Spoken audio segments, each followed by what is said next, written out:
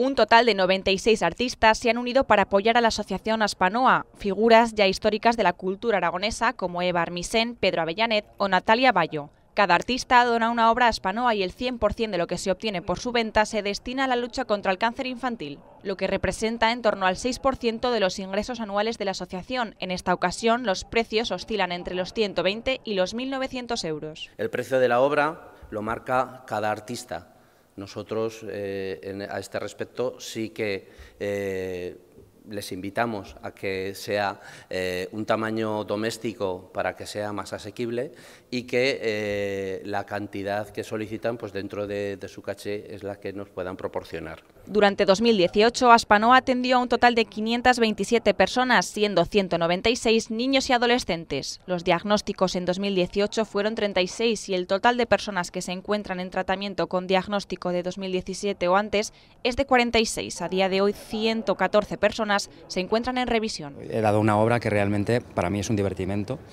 Utilizo las técnicas mixtas en mi estudio, yo realizo obras más esculturales, con más materia, pero realmente aquí quise dar una cosita un poco que, que fuese más más interna, ¿no? más de dentro. Yo no suelo hacer las mezclas de las pinturas encima de madera, sino encima de papeles, y luego reutilizo esos papeles en forma de maniquís, de pequeños eh, recortes, papeles y tal. Es muy importante, eh, porque aparte de la donación en sí, es algo que controlas, sabes a dónde va a parar el dinero, sabes dónde va a parar tu esfuerzo, y es gratificante. Se trata de la 24ava edición de la Exposición de Arte Contemporáneo de Aspanoa, considerada una de las principales muestras colectivas de Aragón.